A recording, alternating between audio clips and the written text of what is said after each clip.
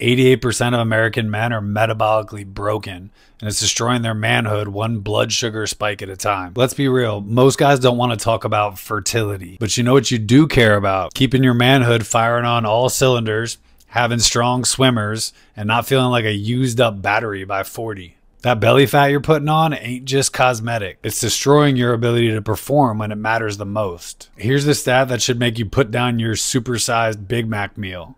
88% of Americans are metabolically unhealthy. That's not just about your waistline or your cholesterol. When your metabolism tanks, so does your ability to perform in the bedroom, recover, and keep your swimmers in Olympic shape. Think of your metabolism as the pit crew for your race car. If you're running on junk fuel, skipping maintenance, and ignoring the warning lights, don't be surprised when your engine sputters and your lap times suck high blood sugar, belly fat, and crappy sleep, they're not just killing your energy, they're slowing down your entire system, including the stuff you don't want to talk about. But here's the good news you can tune up your system without ever stepping foot in a fertility clinic. Clean up your diet, get your sleep dialed in, manage stress and move your body like you actually own it. There's plenty of studies that show that just fixing your metabolic health alone can get your swimmers back in the fast lane. No awkward conversations needed. Bottom line, if you want to keep your fertility at full power, start with your metabolism.